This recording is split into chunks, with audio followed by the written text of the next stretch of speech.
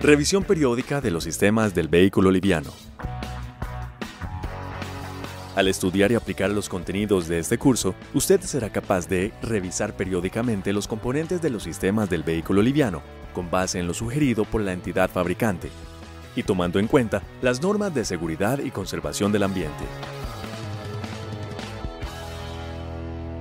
En esta unidad de aprendizaje trataremos el tema Recomendaciones generales sobre derrame de fluidos y ruidos anormales. Recursos necesarios. Toalla o servilleta que libere el mínimo de pelusa. Paso 1. Verifique depósitos de fluidos. Verifique constantemente si quedan depósitos de fluidos en el suelo, tanto donde se estacionó el vehículo por un periodo prolongado como donde éste se guarda. Si observa algún derrame, determine de qué área del vehículo proviene. Por ejemplo, debajo del motor, al centro del vehículo, en la parte trasera o por una rueda, entre otros lugares. Paso 2. Compruebe la viscosidad del líquido derramado. La viscosidad del fluido y su coloración sirven para determinar su procedencia. Verifique su coloración, lo cual ayuda a determinar si es aceite de motor, aceite de transmisión, aceite hidráulico líquido de frenos, líquido refrigerante, agua o combustible.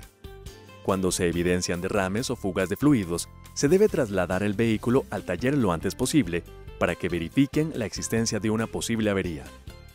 Consideraciones generales.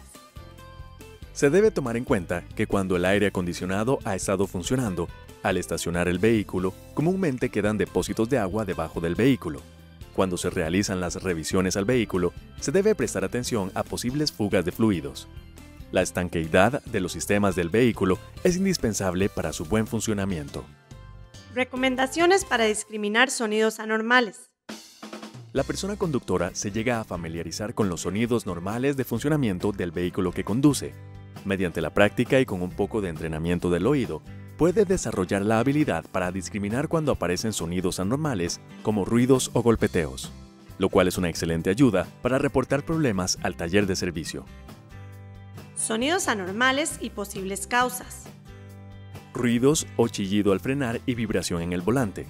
Posible causa, pastillas de freno gastadas o bien discos de freno defectuosos. Ronroneo o ronquido al rodar el vehículo. Posible causa, roles de bocina gastados. Golpes al rodar en superficie irregular. Posible causa, articulaciones de la suspensión o dirección con rótulas, bujes o hules gastados. Ruidos al girar la dirección a baja velocidad. Posible causa, puntas de ejes externas gastadas. Aquí concluimos esta unidad de aprendizaje. En ella tratamos el tema sobre recomendaciones generales sobre derrame de fluidos y ruidos anormales. Ha sido un gusto compartir con ustedes.